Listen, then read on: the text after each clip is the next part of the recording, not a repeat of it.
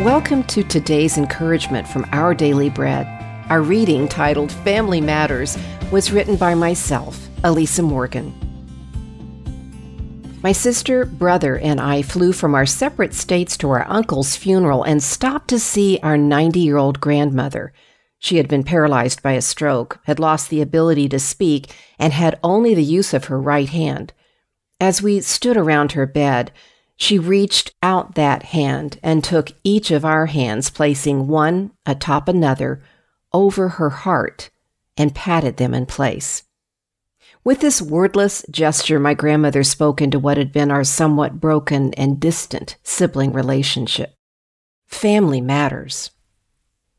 In God's family, the church, we can grow apart as well. We might allow bitterness to separate us from each other. The writer of Hebrews references the bitterness that separated Esau from his brother and challenges us as brothers and sisters to hold on to each other in God's family. Make every effort to live in peace with everyone, reads Hebrews chapter 12 verse 14.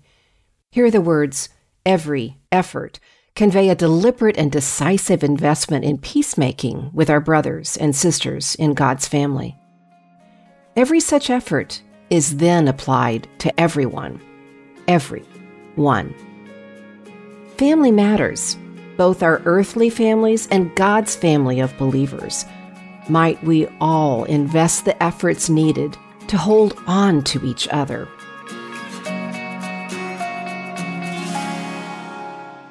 Our scripture reading today is from Hebrews chapter 12, verses 14 through 17. Make every effort to live in peace with everyone and to be holy. Without holiness, no one will see the Lord. See to it that no one falls short of the grace of God, and that no bitter root grows up to cause trouble and defile many. See that no one is sexually immoral or is godless like Esau, who for a single meal sold his inheritance rights as the oldest son. Afterward, as you know, when he wanted to inherit this blessing, he was rejected. Even though he sought the blessing with tears, he could not change what he had done.